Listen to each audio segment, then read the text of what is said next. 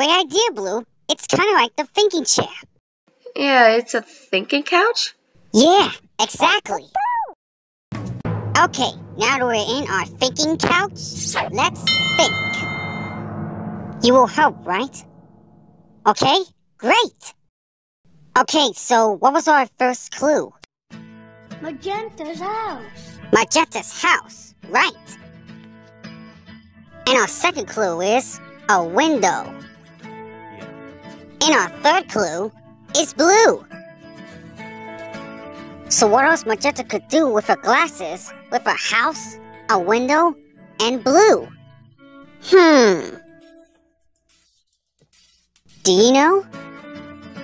What if Magenta went in her house? And, uh, where could she go? To the window. And maybe she could do something. Something like, um, I don't know what she could do.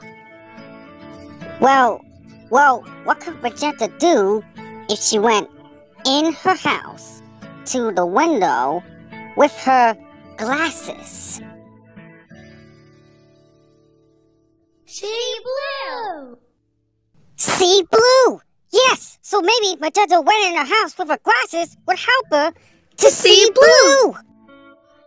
We just figured out Blue Magenta's clues! We just figured out Blue and Magenta's clues. We just figured out Blue and Magenta's clues. We, we just, just figured out Blue and Magenta's, Magenta's clues. Because, because we're really smart.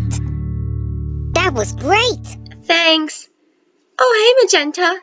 Let's go over to our house and look out our window and see if we can see Blue. Cool. We'll wait here.